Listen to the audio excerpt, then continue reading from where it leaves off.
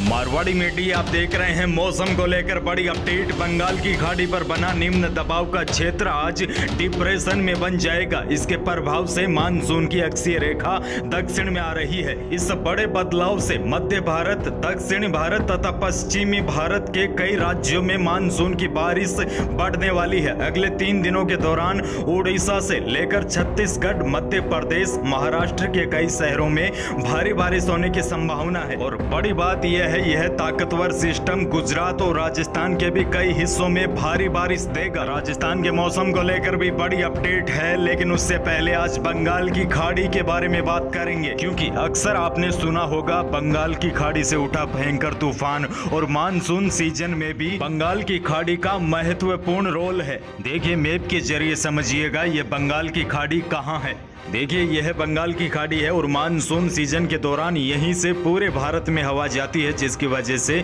बारिश होती है। और साइड में आप देख रहे होंगे अरब सागर। मानसून में यहाँ से भी बारिश होती है। और आपने देखा होगा, मानसून के जाने के बाद खासकर राजस्थान में सर्दियों में जो बारिश होती है, वो होती है यहाँ से। जिसे डब्ल्यू या पश्चिमी विक्षोभ कहते हैं, क्योंकि बीच में कहीं पर भी पहाड़ नहीं होने की वजह से बादल पाकिस्तान समेत कई देशों को क्रॉस करते हुए सीधे भारत पहुँच जाते हैं और यहाँ यहाँ पर पहाड़ों की वजह से बादलों की रुकावट होती है और इसकी वजह से सर्दियों में भी ये बारिश देखी जाती है। अधिकतर पश्चिमी विक्षोभ है। भारत में सर्दियों में ही आते हैं। हालाँकि अभी भी पश्चिमी विक्षोभ आते हैं, लेकिन उतने शक्तिशाली नहीं होते। अभी आपने देखा होगा, श्री गंगानगर में भारी बारिश हुई थी, जहाँ पर सेना को बुलाया गया था। उस समय यही हुआ था। मानसून भी सक्रिय था। उस समय एक जो है, पश्चिमी विक्षोभ भी आ गया था, जिसकी वजह से श्री गंगानगर में भारी बारिश हुई। वहाँ पर कई दिन स्कूल भी बंद रखे गए थे। अब राजस्थान के मौसम की बात करेंगे। आगे कैसा रहेगा? देखिए, बीते 24 घंटों के दौरान राजस्थान के बीकानेर, जयपुर,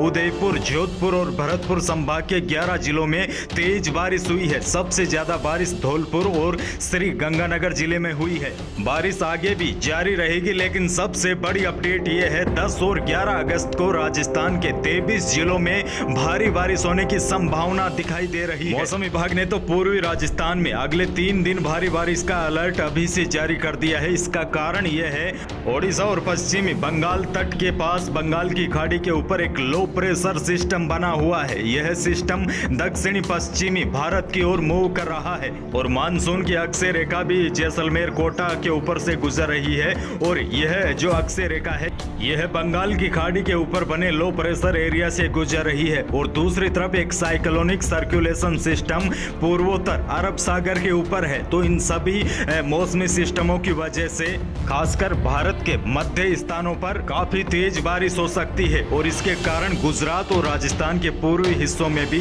भारी बारिश हो सकती है। संभावना है कि 9 अगस्त को राज्य के कोटा, उदयपुर के साथ जोधपुर संभाग के जिलों में कहीं कहीं पर मध्यम और तेज बारिश हो सकती है। और 10 और 11 अगस्त को अजमेर, बांसवाड़ा बारह भीलवाड़ा, बूंदी समेत पश्चिमी राजस्थान के बाड़मेर, जैसलमेर, जालोर, पाली, बीकानेर, चूरू, हनुमानगढ़ श्री गंगानगर में भी भारी बारिश की संभावना दिखाई दे रही है। आगे जो भी मौसम विभाग से कोई नई अपडेट आती है तो उसकी जानकारी मैं अगले वीडियो के माध्यम से आप तक पहुँचाने की कोशिश करूँगा। फ़िलहाल के लिए इतना ही। धन्यवाद।